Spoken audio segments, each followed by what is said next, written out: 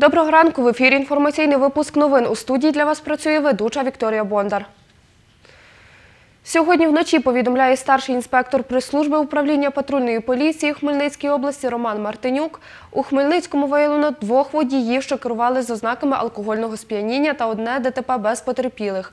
Патрульні зафіксували більше 39 випадків порушень правил дорожнього руху. На службу 102 за ніч надійшло 42 виклики. Більшість з них за порушення тиші, розпивання алкоголю, сімейні сварки та інші звернення інформаційного характеру. Сьогодні з 9.30 до 17 години у зв'язку з проведенням планових робіт, технічних робіт буде відсутнє електропостачання. Про це повідомив начальник контакт-центру ПАД Хмельницькобленерго Іван Глапчастий. За його словами, тимчасово відключать світло на 19 локаціях Хмельницького. На вулицях Колективній, Польовій, Пшеничній, Старосадовій та Яблуневій, що в Книжківцях проведуть улаштування та монтаж нового обладнання. Музиканти зі Львова, Івано-Франківська, Закарпаття, Одеси, Хмельницького та Німеччини беруть участь у Камерфесті. Розпочався він у Хмельницькій обласній філармонії. Фестиваль відкрила ораторія сучасного українського композитора Ігоря Щербакова «Великого бажайте» на текст заповіту патріарха Йосипа Сліпого та в канонічні та канонічні тексти. В музичному творі поєднані тексти зі святого письма, християнських молитов та заповіт патріарха. Автор ідеї і Ліберто Михайло Перун спільно з композитором Ігорем Щербаковим над ораторією працювали протягом двох років. За його словами, музичний твір філософський. Ораторію виконали музиканти Академічного симфонічного оркестру Хмельницької обласної філармонії з академічною хоровою капелою Українського радіо. Ще трохи, і ви не побачите мене більше, бо надходить година, коли вже і притчами не промовлятиму до вас. З моєї точки зору, ця ораторія вдалася е, композиторові, адже властиво музичною мовою е, він зміг передати духовний світ патріарха Йосипа Сліпого, тому що е, ми властиво намагалися передати ті цінності, які патріарх Йосип ніс.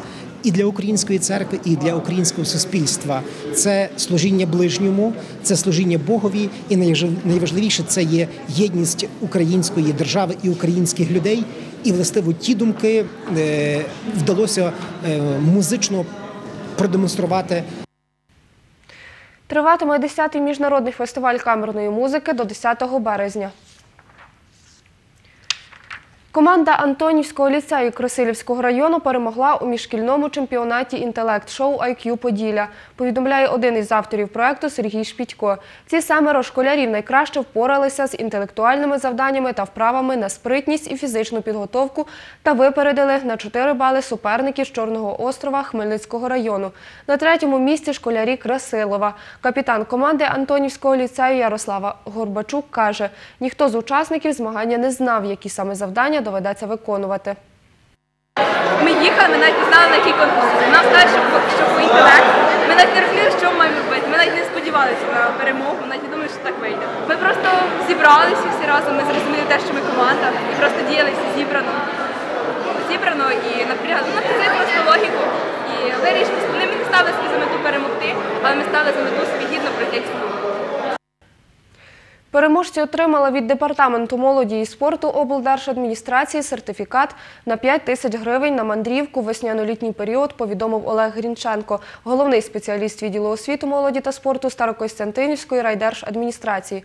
Відбувалися інтелектуальні змагання учнів шести шкіл районів Хмельниччини, Хмельниччини в Великочернятинській загальноосвітній школі 1-3 ступенів Старокостянтинівського району, де працює вчителем історії один із трьох авторів інтелект-шоу Сергій Шпітько. Тому що я працюю в цій школі, так тут е, я, крім того, що я працюю і в цій школі, і водночас я ще керівник е, Хмельницького обласного центру науково-технічної творчості учнівської молоді. Е, Тут так само знаходяться ще два керівники: це Кажевников Антон Володимирович, який проводив і відповідає повністю за цю гру, і Волошин Олександр. Тому ми от нам зручно тут знаходяться наші діти, тут знаходиться наша база. Тому саме зручно проводити нам ну, такий от фестиваль саме тут. Наразі це всі новини, які ми встигли для вас підготувати. Більше інформації дивіться у наступних випусках. Побачимось!